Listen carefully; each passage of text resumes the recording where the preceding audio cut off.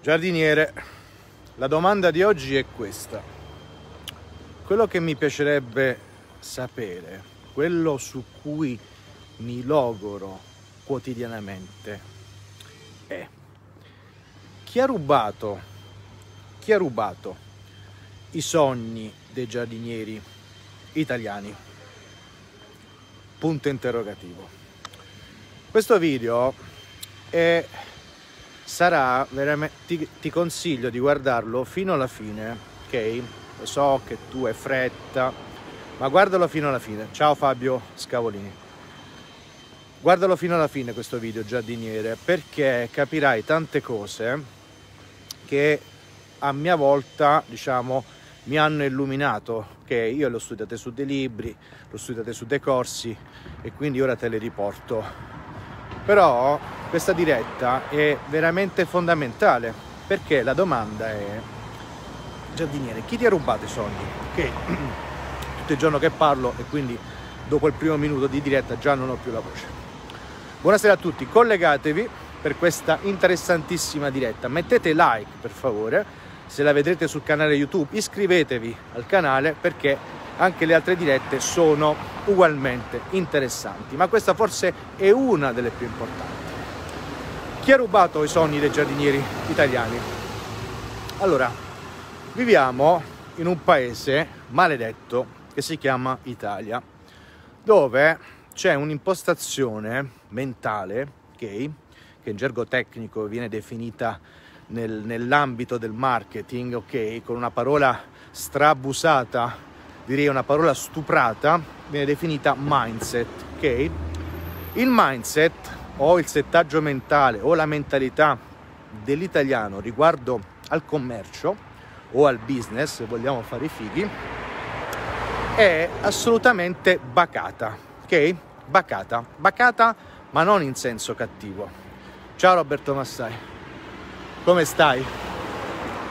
Oggi parliamo di mindset, parliamo di sogni, parliamo di ambizioni e la mia domanda di oggi è chi ha rubato i sogni ai giardinieri italiani? È una domanda piuttosto profonda, sulla quale mi sono logorato parecchio, ma insomma, se ascoltate il video poi c'è anche la risposta. Quindi in Italia la mentalità, l'approccio al commercio è veramente devastante, ok? È totalmente in contrapposizione a quello che viene definito l'American Dream, ok? Il sogno americano ho la prima frase con la quale ho iniziato il post di questa diretta. Temporeggio un po' aspettando che arrivino gli altri che sono ancora in giardino.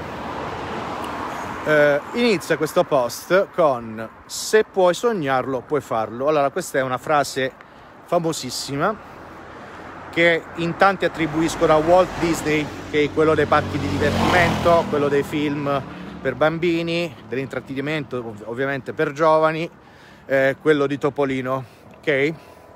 Se puoi sognarlo puoi farlo, l'attribuiscono a Walt Disney, anche se in realtà questa frase è una frase degli anni 80, ok? E pare sia stata eh, scritta o detta da un collaboratore, cioè Leonardo Coccella, da un collaboratore di eh, Walt Disney, dal nome Fitzgerald mi pare che si chiami, però è chiaro che la cosa più romantica era quella di attribuirla a Walt Disney. Ok? Caro giardiniere, se fino ad oggi hai pensato a Walt Disney come diciamo a un parco di divertimento l'hai associato a Topolino, devi sapere che Walt Disney è diciamo nell'ambiente, per chi studia queste cose, è, rappresenta uno dei più grandi imprenditori di tutti i tempi e soprattutto uno che con il marketing ci ha sempre saputo fare se poi avete voglia andate su Google, cercate modello di business di Walt Disney, vi viene fuori un disegno degli anni 70, anni 60, non lo so, scritto, sembra scritto a penna, ok? In cui capite come è costruito e come, diciamo, il mondo Walt Disney crea e ridistribuisce valori. È un grafico complicatissimo che non si capisce niente. Per farvi capire, diciamo, la perfezione dei meccanismi rodati in ogni, singola, diciamo, in ogni singolo ramo d'azienda di Walt Disney. E io non sono mai stato, ma insomma ho studiato e visto eh, ho sentito i racconti di chi è stato nei parchi divertimento di Walt Disney, che sono delle vere e proprie macchine per emungere fino all'ultimo centesimo i soldi de, delle persone appunto che portano lì i figli che vanno a passare una giornata di divertimento. Quindi Walt quando si parla di Walt Disney in eh, relazione al business stiamo parlando come di una divinità, ok? Per questo motivo associare il se, pu- se puoi sognarlo, puoi farlo al, eh, a, a, a, questa figura e non al suo, diciamo, al suo dipendente è molto più romantica come cosa. Ruota. Scusate, stava rotando il telefono. Eh, dovete sapere che sulla mia, sulla mia, sulla mia postazione di lavoro casalinga ho due cartelli. Ok? Sul primo cartello c'è scritto se puoi sognarlo puoi farlo. Sul secondo cartello c'è scritto un'altra cosa di cui parleremo domani. Quindi domani ci sarà un'altra diretta che è correlata a queste tematiche qua, che sono delle dirette fatte apposta per cercare di scardinare quella che è, diciamo, quello, quella che è la vostra mentalità, o meglio, la mentalità che vi limita, ok? Perché dopo questo agosto, diciamo, di minor presenza sui social, siccome appunto se puoi sognarlo puoi farlo, il mio sogno è scardinare la testa rovinata dall'ambiente italiano dei giardinieri e fargli capire che i concetti di cui parlo sono importantissimi, sono fondamentali per la crescita non solo dell'attività di giardinaggio, ma di qualsiasi altro tipo di attività, in Italia, in Francia, in Austria e via dicendo, in tutti i luoghi. Ehm, quindi, tornando al se puoi, se puoi sognare, rispondere perché sto, sono impegnatissimo in questa importantissima diretta. Quindi, cari giardinieri, eh, qual è il problema in Italia? Il problema in Italia è che noto, notiamo anzi perché dovete sapere che è un team di varie persone, quindi oltre a persone che collaborano con me per le strategie, sono persone che collaborano con me per il copywriting, quindi per scrivere i vari testi che trovate nei post, nelle newsletter, nelle, nelle pagine, quelle dove si vendono corsi e via dicendo, ci sono i consulenti, ok? Quindi siamo un team che con il tempo poco tempo, ok? Perché io non ho scelto la via del passaparola, ok? Eh, io ho iniziato un anno fa, nel marzo 2020, con una grande promessa entrando in gamba tesa nel mercato del giardinaggio italiano perché sono, giardin- sono stato giardiniere come voi e sono un, tuttora un giardiniere, ok? Con un altro però eh, approccio il tema da un altro punto di vista. Ecco perché, diciamo, la mia mente, grazie agli studi e ai vari corsi che ho fatto, è aperta, ok? Non ho una visione limitata con i paraocchi come ce l'ha anche qualcuno di voi che sta guardando ora o che lo guarderà successivamente e lo dico diciamo sen- senza voler offendere nessuno, ok? Lo dico per il vostro bene. Eh, avendo la mente un po' più aperta, ho detto come posso sfruttare le mie nozioni di giardinaggio rimpacchettandole e proponendole in maniera differente e anzi unica sul mercato italiano. Ok? Quindi pensate a che vantaggio competitivo possa avere, visto che sono unico, quasi unico, c'è la scuola agraria di Monza fa qualcosa di web marketing per i giardinieri, c'è qualcuno che ci sta provando, insinuandosi, diciamo, in maniera maldestra in alcuni gruppi di giardinaggio, ma sono l'unico che l'unico esperto italiano di marketing appositamente per le attività di giardinaggio che si focalizza sulla crescita delle aziende di giardinaggio e ci sono tanti riscontri sul web, quindi non dico cazzate, ma vi informate, andate sul canale YouTube e vedete testimonianze di persone che stanno letteralmente sbancando. Ehm, quindi se puoi sognarlo, puoi farlo. Quindi qual è il problema? Che i, quando uno sogna qualcosa, okay, per... ci sono diversi tipi di sognatori, ok? C'è il sognatore, quello con la testa fra le nuvole, ok? Che cammina così e sogna e pensa non si sa che, ma c'è anche il sognatore con i piedi per terra, ok? E il sognatore con i piedi per terra, quando ha un sogno, ok?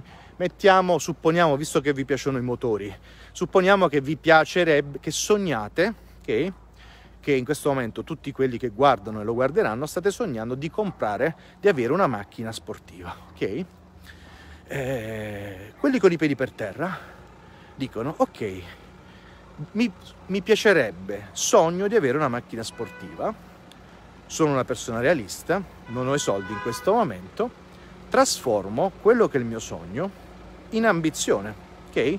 Quindi l'ambizione, diciamo, è sotto il sogno è un qualcosa di più tangibile, è un qualcosa che diciamo è più semplice, che poi diventi realtà. Quando uno è ambizioso, che fa?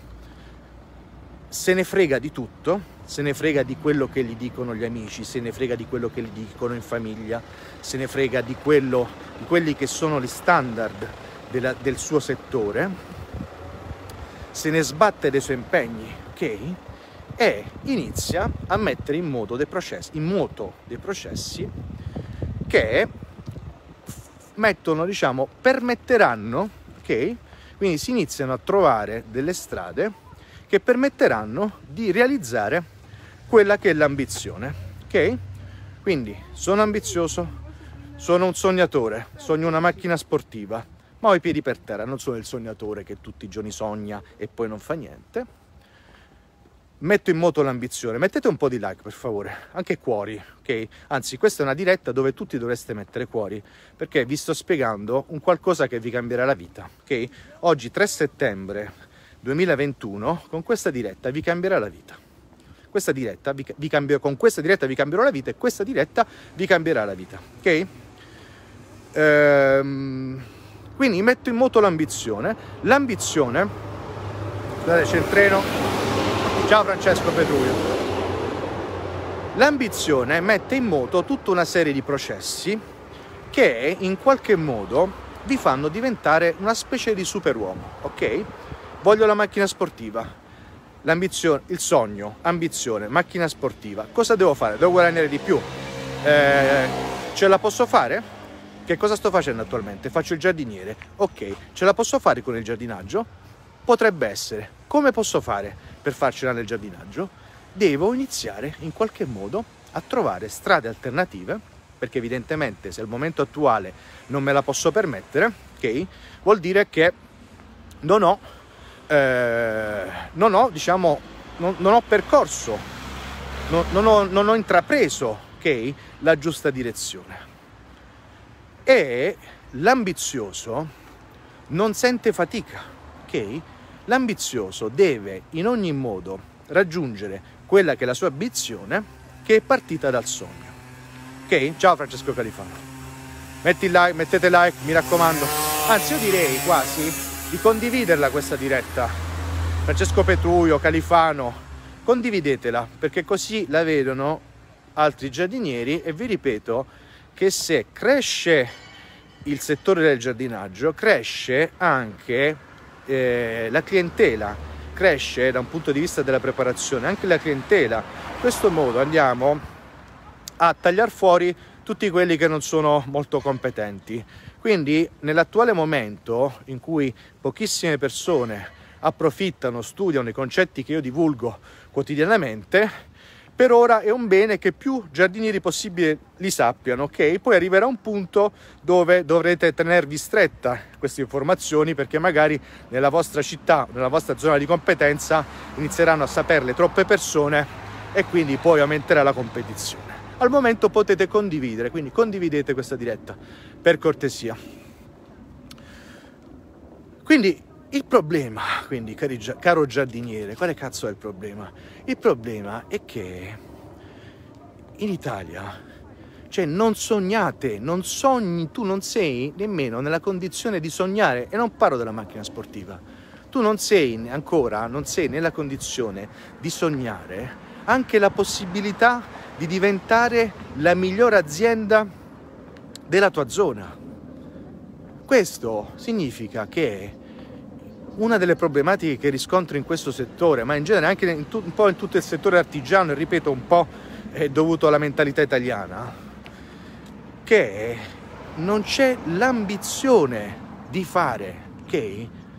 Io guadagno il mio, non muoio di fame, non muoio di fame e quindi significa che sto a posto così. Quindi di quello che dicono gli altri, di quello che dice l'agricoach, che cazzo me ne frega a me? Tanto stasera un piatto con le uova sbattute ce l'ho, un tetto sopra la testa ce l'ho. Ma quasi nessuno dice stasera non voglio mangiare a casa per l'ennesima volta, ma voglio andare in un ristorante eh, due stelle Michelin. Non voglio una casa normale, ma voglio una casa con un grande giardino e la piscina. Non voglio la mia Fiat Panda, ma voglio comprarmi una macchina perché sono un appassionato di motori, mi voglio comprare una bella macchina. Voglio viaggiare in tutto il mondo. A agosto, dopo che ho, che ho creato la mia azienda, ok, e tutti i meccanismi e i processi, io agosto parto e faccio ogni anno il giro del mondo. Ok, per fare queste cose occorre avere più soldi di quelli che mediamente la maggior parte di voi a disposizione. E però il problema è che se non c'è l'ambizione di voler fare queste cose, se c'è l'abitudine che ha ad accontentarsi del minimo possibile, indispensabile, tutto questo non può avvenire mai. Invece in America c'è il sogno americano. In America c'è un, una...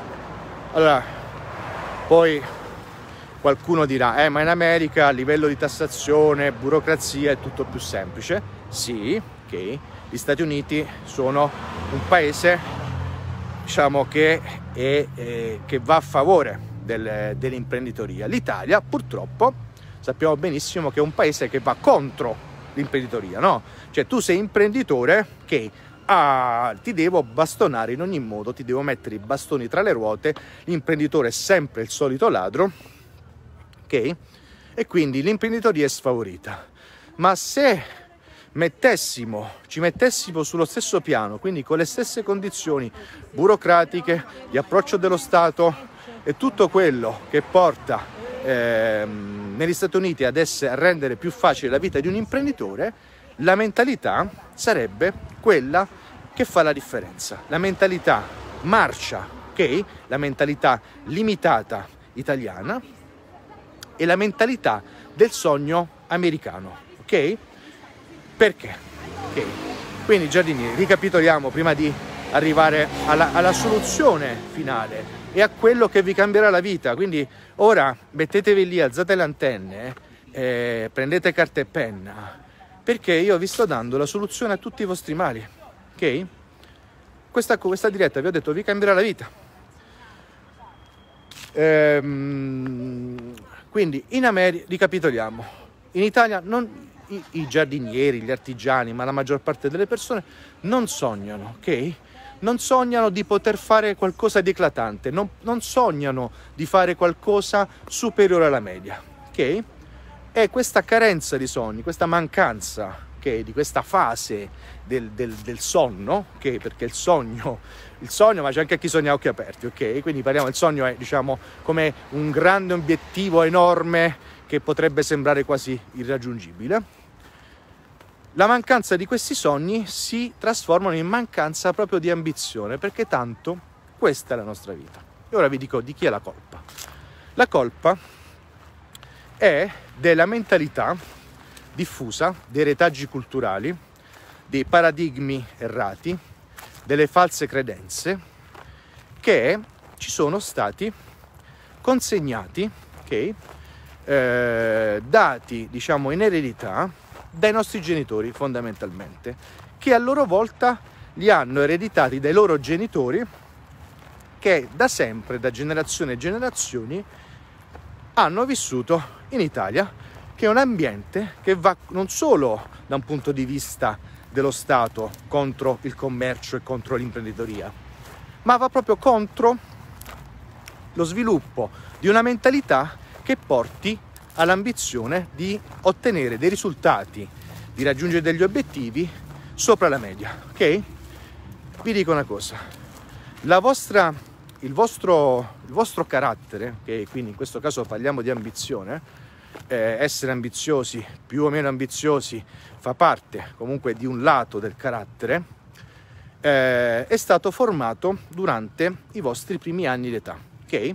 Quello che voi siete, o per la maggior parte, quello che voi siete, deriva dalle vostre esperienze quando eravate più piccoli, tra i 0 e i 48 mesi. In questa fase, no, noi nasciamo, nasciamo no, non capiamo niente, l'unica cosa che, che cerchiamo è di mangiare, di succhiare il latte dal seno della madre, ok? Abbiamo, espletiamo i bisogni fisiologici, dormiamo tutto il giorno, ok? Quindi abbiamo delle le funzionalità vitali base. Poi, mano a mano, iniziamo, diciamo, a diventare veramente, iniziamo, impariamo alla velocità della luce, ok? Un bambino tra 0 mesi, ok, un giorno e un anno apprende una quantità di cose incredibili, ok? Un anno, un anno e mezzo, due anni, ora non sono esperto, non ho ancora figli, quindi eh, lo sperimenterò.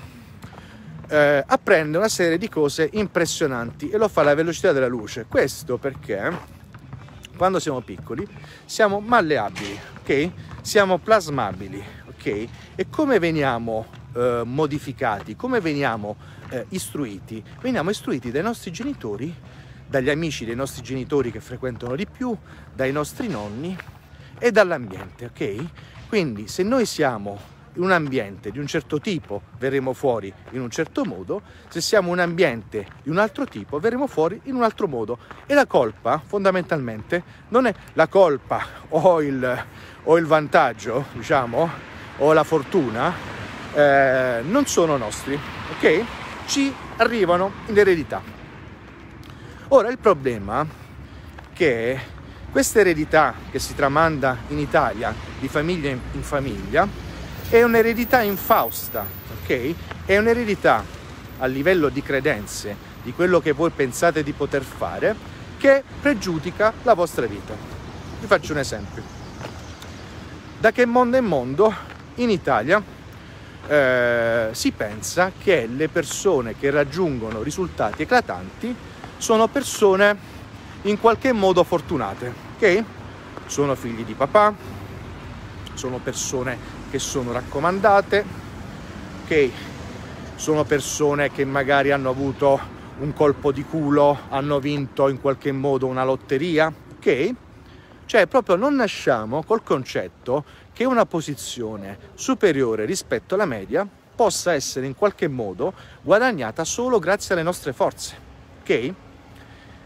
Tant'è vero che quello che ci viene inculcato sempre tra gli 0 e 48 mesi e i 60 mesi, quindi tra gli 0 e 4 anni, 0 e 5 anni, ci viene inculcato l'odio e l'invidia per chi è messo meglio di noi.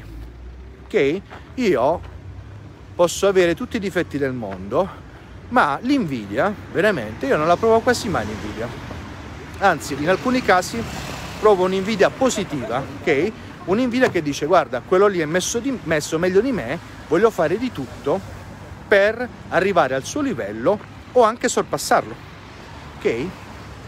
Quindi in Italia siamo messi così, quindi che le persone benestanti, le persone che sono diventate famose, le persone che hanno, eh, che hanno vinto una gara sportiva, che è sì, ma quello geneticamente è predisposto. Quindi ci sono tutta questa serie di cose che ci mettono nella condizione di odiare queste persone qua. Basta, basta che voi vediate su Facebook, ok, sui social, quando ci sono eh, dei post dove si parla di qualcuno eh, che è benestante, ricco e via dicendo. Tutti quanti si sfogano dicendo eh, tu sei un ladro, hai rubato, eh, sei un delinquente e via dicendo. Perché? Tornando al discorso di prima, questo ci è stato inculcato da quando siamo piccoli, ok? Chi sta bene, chi raggiunge obiettivi è sempre fortunato. E badate bene a questo passaggio, eh, il fatto di attribuire il successo degli altri non a un qualcosa che loro hanno ottenuto grazie alle loro capacità, ma a un qualcosa che deriva da fattori esterni per cui loro sono fortunati, è una grande scusa per noi. E allora che succede? Che automaticamente pensiamo noi a quel livello lì non ci possiamo arrivare perché noi siamo sfortunati, perché noi non siamo nati ricchi, perché noi non, siamo, eh, non abbiamo mai vinto la lotteria, perché noi geneticamente non abbiamo i muscoli di Jacobs, quindi non potremo mai arrivare a vincere i 100 metri, eh, a fare il record, eh, no, no, il record del mondo non è stato, ma il record sicuramente italiano, perché siamo, diciamo, andiamo, ci andiamo automa- da soli, ok? Quello che facciamo, ci andiamo ad autosabotare, ok? Basandoci su quello che abbiamo appreso dal nostro ambiente, che ci permette di andarci ad autoscusare, ok? Cioè ad autorizzarci a non avere nemmeno l'ambizione, perché tanto quelle posizioni là non sono una roba che fa per noi, ok? Questo concetto, questa è una delle principali problematiche. Questo concetto è rafforzato da un concetto praticamente parallelo, che è quello che nella vita, per essere una persona onesta, devi sgobbare, che devi tirar fuori il sudore della fronte, quindi devi fare tutti i sacrifici del mondo e se anche guadagni, diciamo, il minimo dei soldi indispensabili per fare una vita almeno dignitosa, tu sei una persona comunque encomiabile. Per carità, tanto di cappello, non sto dicendo il contrario, ma una persona che, che fa il minimo, ok? No, fa il minimo, diciamo, non, non, ottiene grandi risultati, ma si sacrifica tutto il giorno, sta, sta a spaccare le pietre sotto al sole, di riccione, di riccione. Ho, ho diciamo sminuito un attimo, ho abbassato i toni è una persona onesta, ok? Invece chi guadagna tanto dall'altro lato non se l'è meritato ed è addirittura molto spesso percepita come una persona disonesta. Da questo deriva che i soldi sono una cosa sporca, ok? Questi sono due paradigmi errati che vi hanno inculcato nella testa i vostri genitori, i vostri nonni, gli amici dei vostri genitori e che quotidianamente voi continuate a sentire nell'ambiente che frequentate, ok? I vostri colleghi, no, tutti no, disperati, guarda quello là, cioè magari siete tra colleghi, passa il giardiniere che ha più successo nella zona e dice no ma quello là è un figlio di puttana, un bastardo, eh, non è vero che sa fare le cose bene, cioè sempre brutte parole, eh? Perché quello ha avuto più successo di voi e non dire cavolo, quello là è un grande, è stato in gamba, voglio crescere anche io, non solo per raggiungerlo, ma perché lo voglio superare, ho l'ambizione di superarlo.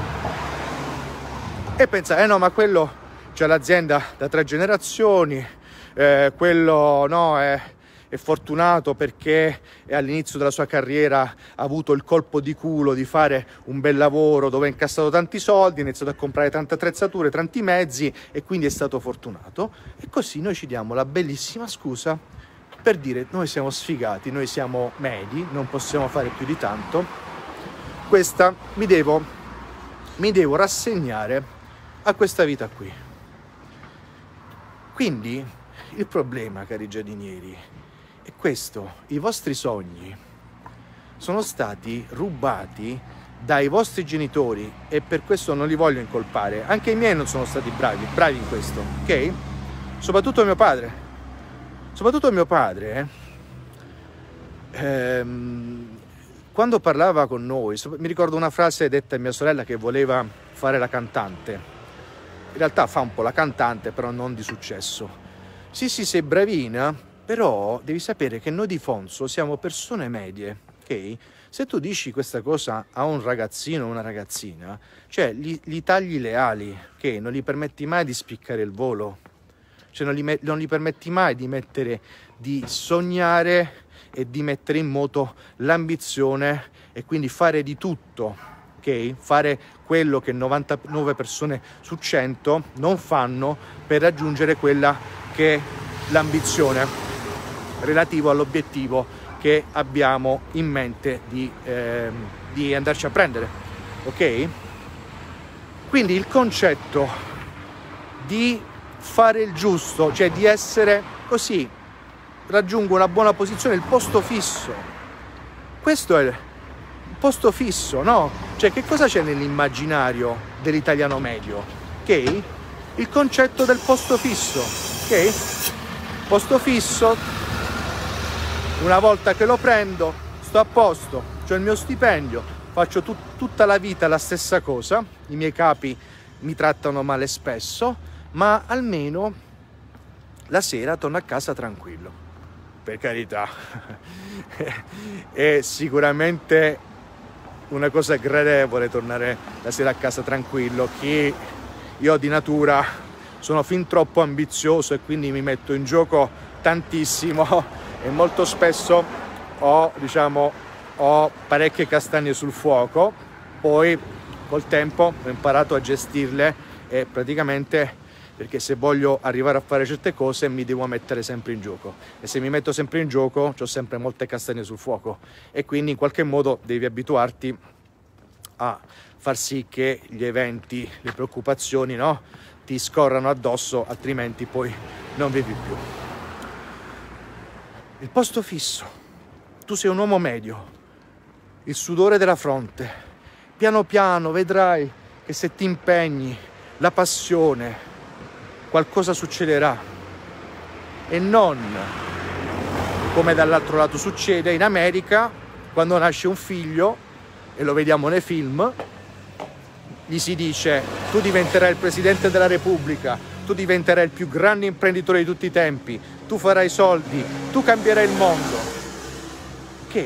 cioè questi sono i due ambienti l'ambiente del sogno americano e, e l'ambiente dell'incubo italiano, ok? Perché quello che ci prospetta, quello che ci si prospetta da quando siamo piccoli è di vivere una vita media, ok? Perché essere nella media, spaccarsi la schiena, fare una vita onesta, mandare con i sacrifici i figli all'università è vista come una cosa bellissima, è vista come diciamo, eh, l'emblema dell'onestà, mentre chi vuole arrivare più in alto, spesso chi parla di soldi, chi parla di crescita aziendale, è visto come qualcuno che vuole fare qualcosa di male. Vi dico, vi faccio questo esempio. L'altro giorno ho partecipato, anzi ho scritto un post su un gruppo di giardinaggio dove parlavo eh, di quello che deve fare un imprenditore del verde. Impariamo questo concetto che lo ritroveremo a seguire. Ok? imprenditore del verde. Un imprenditore del verde deve valutare la crescita, deve sempre diciamo, progettare, deve pensare, deve ambire, eh, deve far sì che la sua azienda cresca di anno su anno, perché un'azienda stagnante è un'azienda che non ha senso. Okay? Eh, e prospettavo in questo, in questo post, scrivevo che un'azienda di giardinaggio, secondo me, deve crescere almeno il 20% ogni anno. ok? ho avuto diverse persone d'accordo e uno ha detto, eh, ma se, ma la, diciamo tacciandomi tipo di disonestà no? o di, di voler dire qualcosa di brutto, mi ha detto, mi ha scritto, eh, ma se, se io cresco ogni anno del 20%, vado a levare i clienti agli altri. Cioè, capite? Io sono convinto che non sia stupida questa persona, perché se voi pensate all'affermazione, l'affermazione è stupida, ok? Però questa persona che l'ha fatta, che tra l'altro scriveva pure insomma abbastanza bene, non è una persona stupida, ma l'affermazione è molto stupida. Cioè, io ho un'azienda e quindi siccome ci sono gli altri che hanno altre aziende, non posso ambire una crescita perché poi vado a levare il lavoro agli altri. Cioè, le aziende le aziende sono in competizione e la competizione è anche una cosa positiva perché la competizione permette di alzare il livello. Cioè qui non siamo nel comunismo dell'URSS, ok? Qui non siamo nella Germania dell'Est, non siamo a Berlino, a Berlino Est, se si dice, c'era Berlino Est, boh, sì, boh, sì, Berlino, Berlino la Germania dell'Est, ok? Ci sono passati diversi decenni da quei fenomeni lì. Cioè non siamo in un regime comunista dove tutti devono star bene grazie al lavoro di poche persone, oppure quelli che meritano non possono emergere perché la ricchezza deve essere ridistribuita. Se no che cosa le apriamo a fare le, aziende? Se non le apriamo per sognare una crescita, per sognare di avere 10 dipendenti o per sognare anche non di avere 10 dipendenti, perché a volte io quando parlo voi potete, potete fraintendermi. Per me il vostro successo aziendale non è avere 10 dipendenti, 20 dipendenti, 30 dipendenti. Capiamoci bene. Potrebbe essere sia questa figura qui, avere 50 dipendenti, 100 dipendenti, fare l'azienda più grande d'Italia, ma per me il vostro successo aziendale e professionale, per voi giardinieri, potrebbe essere anche quello di essere il super giardiniere che tutti i giorni in giardino, vestito bene, che ti fa le potature solo della roba a terra e si fa pagare 50 euro l'ora. Giardiniere rispettato, giardiniere che quando entri nella casa del tuo cliente, il cliente ti accoglie come se fossi il miglior professionista, il miglior specialista, come quei dottori che curano il cancro. Questo è possibile con il marketing, con le cose che insegno io, con tutti i processi che servono a generare autorità e autorevolezza. Quindi capiamoci bene, per me il vostro successo professionale non è solamente fare i milioni di euro, è una delle opzioni potrebbe essere anche quella di guadagnare molto bene stando tutti i giorni in giardino, ma avendo del tempo libero, non sottostando ai capricci dei clienti tirchi, ok? Non sottostando agli insulti o diciamo alla scarsa, ehm, alla scarsa presa in considerazione da parte di tanti clienti, perché parliamoci chiaro, tanti clienti vi trattano come lo scopafoglie. Anche io sono stato trattato come uno scopafoglie. Anche io. Io quando ho iniziato avevo due linee, due linee di acquisizione clienti. Il sito, la prima cosa che ho comprato, non ho comprato il decespugliatore io, ho fatto un sito, ho speso 2500 euro per fare un sito, ciao Claudio Pento. Prima, I primi soldi che ho sborsato sono stati soldi per un sito, non per un decespugliatore Steel. Che cazzo ci facevo col decespugliatore Steel se non avevo i clienti? Ok? Bastava un decespugliatore eh, Tanaka, ok? Usato, usato per di più, ok? Non serviva Steel, cazzo me ne frega a me. Il soffiatore a me non mi serviva, il soffiatore l'ho comprato dopo tre mesi che avevo preso tanti clienti che mi avevano dato i soldi. Scopavo con le, con le, a mano, con la scopina di ferro, quella per le foglie, e con la scopa di saggina, quella di paglia, ok? Poi ho comprato il soffiatore, piccolo, Tanaka anche quello, 300 euro, sembrava un phon più che un soffiatore poi ho preso ho preso quelli spalleggiati, quelli col motore triturbo della Steel che ti, ti sparavano nello spazio, ma non servivano prima. Cosa ci devo fare? Cioè, quando tu parti o quando non sei nella condizione desiderata, non è che compri gli attrezzi e migliora, ok? È chiaro che devi avere gli attrezzi base. È chiaro che non sono pazzo. Eh, quindi stavo dicendo, parlavo dell'ambizione. Quindi l'ambizione, la vostra ambizione dovrebbe essere una delle due questioni di cui vi ho parlato. Ok, non trovo la strada. Ok, scusatemi, ho avuto un, un, un errore. Ehm, cioè per me non è che dovete diventare tutti ricchi, imprenditori spietati, dovete diventare delle persone che, che sono autorità nel loro settore, che esercitano autorevolezza che comunque guadagnano di più degli altri giardinieri e che soprattutto sono rispettati. Ecco il discorso, quando ho iniziato avevo due linee, quindi o dal sito oppure tramite dei condomini o amministratori di condominio. Okay. Chi, mi, chi mi chiamava dal sito vedeva il fatto che ero agronomo, vedeva tutto scritto bene, un bel sito e mi chiamava e io quando andavo a trovarlo per il sopralluogo mi rispettava, ok? Mi accoglieva bene, mi accoglieva con soddisfazione. Quando invece andavo nei condomini, magari arrivavo, prendevo il nuovo condominio, arrivavo nel condominio, sapete che magari tanti di voi abitano in condominio, non è che siete lì che sapete quale azienda viene, se è stata cambiata, chi lava le scale, chi, dipinge le porte, ok? Per non li conoscete. Quindi come un pinco pallino, come il classico giardiniere scopafoglie, arrivavo nel condominio e come tale ero trattato. Cioè come un coglione. Cioè c'era uno dopo due secondi che arrivava, e no, quella pianta tagliala bassa. Poi si affacciava un altro sopra, no, quella pianta fammela a metà. Poi quello sopra ancora, no, quella pianta lasciala alta. Magari, eh, ovviamente non potevi accontentare tutte e tre, scendevano per sfogarsi dalle loro, da, da qualcosa, no? da, dalla loro vita magari di frustrazioni, venivano e mi cazziavano, si sfogavano e mi trattavano come l'ultima delle merde, ok? E questo succede pure a voi, non lo dite, non, non lo, cioè non lo negate. Come dicevo ieri, potete, potete non dirlo a me, potete negarlo nei miei confronti, ma non lo potete negare nei vostri confronti.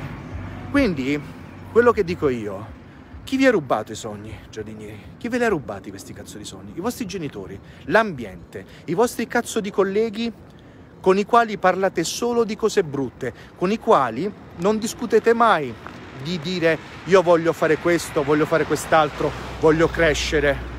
Perché non studiate? Ok?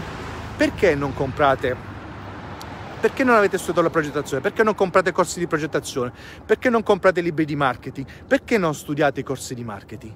È semplice, perché a voi che cazzo ve ne frega?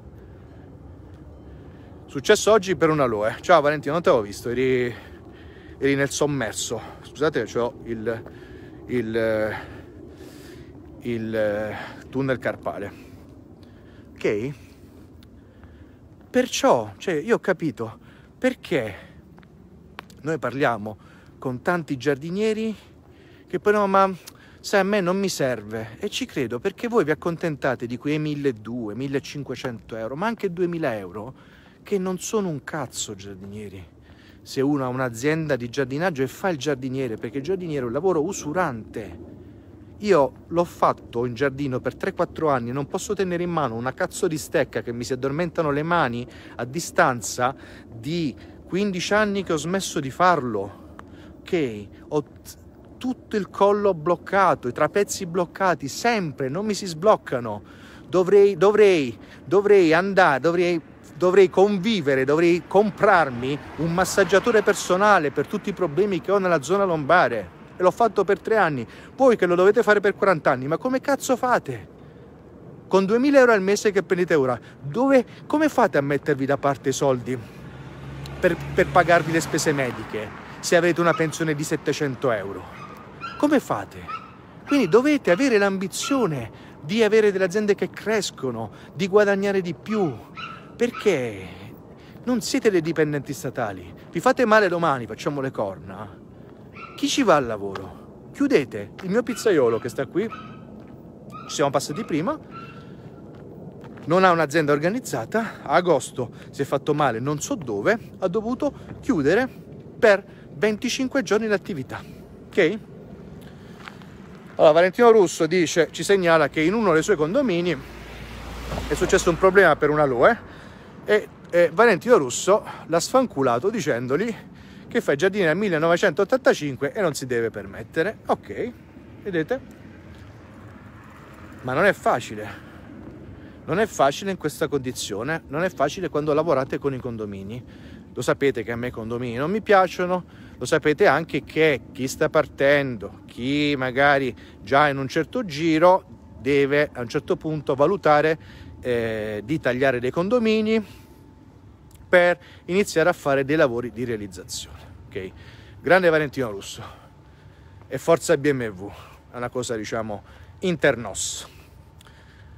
Quindi giardinieri, riguardatela questa diretta, non so quanti, da quanti minuti sono in diretta, la volevo fare più corta perché so, che, so che poi voi vi annoiate a guardare i video, ma questa è, diciamo, è la motivazione per la quale voi siete fermi allo stesso livello da una vita, ok? E vi sto accendendo degli allarmi, non potete rimanere fermi così per tutta la vita, è molto, mo- è troppo rischioso, ok? È troppo rischioso perché è lavoro usurante, perché la, la, la pensione è bassa e con quello che ci portiamo a casa molto probabilmente non riusciamo a metterci da parte soldi per eventuali problematiche dopo. Quindi dovete ambire, dovete sognare di fare le cose più in grande, dovete trasformare questa cazzo di ambizione, di questo sogno in ambizione e dovete fare quello che il 99% Coach, tu non annoi, non mai. Grazie Francesco Califano. eh, dovete fare quello che il 90, 95, 99% delle altre persone non è disposta a fare, cioè spaccarsi il culo per raggiungere i propri sogni, ok? Spaccarsi il culo per raggiungere i propri sogni, sapendo che, sapendo che quello che voi pensate, ok? Quello che voi pensate su, su ogni cosa, ok? Che i ricchi sono sporchi, i soldi sono brutti, sei onesto solo se ti spacchi la schiena, tutta quella, quella puttanate mentali che voi avete nella vostra testa, ve le hanno donate, ok? Come cattiva eredità i vostri genitori. E vi dico una cosa importante, molto forte, ok? Voi potete, potete amare i vostri genitori, ma non è detto che dobbiate stimarli, ok? Voi li potete volere bene, è chiaro, però non è detto che dobbiate stimarli, non è detto che dobbiate seguirli anche se loro hanno 70 anni oramai del mondo odierno, magari non ci hanno capito un cazzo quando erano giovani e non ci capiscono ancora più di più un cazzo ora. Ok? Dovete, come fate a, a, a migliorare? Dovete iniziare a isolarvi, ok? Dovete smettere di frequentare le vostre amicizie che la pensano come vi ho detto prima. Dovete ascoltare più video come questi, dovete comprare libri di crescita personale, dovete seguire anche altri video su YouTube, ci sono altri formatori che ovviamente gira e rigira i concetti sono questi, i concetti di crescita personale, di crescita aziendale, sono questi qui, ok? Quindi dovete smettere di rimanere nell'ambiente in cui vi siete in cui siete cresciuti. Dovete allontanarvi dai vostri colleghi che ragionano sempre e solamente secondo gli standard di settore. Sapete chi ha successo nel commercio? Sapete? Pensate a tutti i vostri amici giardinieri. Quanti colleghi giardinieri sfigati avete e quanti colleghi giardinieri al top avete? Fate un conto. Fate un conto. Ok? Vedrete che la maggior parte sono sfigati che si lamentano e forse ne avete uno o due un po' sopra la media. Ok? In ogni settore, in ogni settore, chi ha la meglio, chi vince, chi fa azioni rilevanti rispetto agli altri è colui che la pensa nella maniera opposta rispetto a tutti quelli gli altri, rispetto a tutti gli altri. Ok? Se tutti i vostri colleghi dicono no, ma devi comprare la Still perché eh, taglia meglio, devi avere la motocariola, devi avere il biotrituratore e voi dietro pensate che per essere in linea con gli standard di settore dovete avere tutte quelle attrezzature, vuol dire che voi non dovete investire tutti i soldi nelle attrezzature. Ok? Se tutti gli altri dicono non serve un cazzo la formazione, ma perché devo studiare progettazione? Prendo due piante, le butto lì, ci metto due sassolini, no? Faccio quei disegnini che fate, che quelli con la corteccia di pino e i sassolini bianchi. Orridi, eh, orridi, orridi. Se prendete Gardenia non vedete nessun giardino fatto in quel modo là. E perché nessuno studia progettazione? Perché lo standard dell'industria italiana prevede che siccome tu hai passione, non si sa per quale motivo, avendo passione, tu sai anche progettare giardini, sai anche realizzare giardini belli. E non è vero. Chi è che fa giardini belli? Pochissimi, ok? Quelli che non seguono lo standard di settore. Quelli che dicono se io faccio il giardiniere devo imparare a progettare. Quelli che dicono se io faccio il giardiniere un'impresa devo imparare a vendere. Fammi comprare i corsi dell'agricoach. Fammi fare le consulenze con l'agricoach. Non mi sto facendo pubblicità, sto facendo un esempio. E anche un po' di pubblicità. Fammi fare il sito con l'agricoach sto vedendo che diversi si sono fatti fare il sito con l'agricoach e stanno sbancando. Addirittura tanti sui social dicono no, non è vero. Non è vero, sta dicendo falsità. Valentino Russo nella sua intervista sta dicendo cazzate. Alex Monteleone sta dicendo cazzate. Cioè, siamo al punto di negare l'evidenza pur di non mettersi in gioco, pur di non attivare i nostri sogni, pur di non attivare le nostre ambizioni e fare qualcosa che sia superiore alla media, perché essere superiore alla media non è cosa per tutti, ce l'hanno insegnato i nostri genitori, dobbiamo fare una vita umile, piena di sacrifici, spaccandoci la schiena, il sudore della fronte e tutte queste cazzo di puttanate che voi dovete cancellare. Riguardate questa diretta, 5 volte che vi cambierà la vita, alla vostra evoluzione.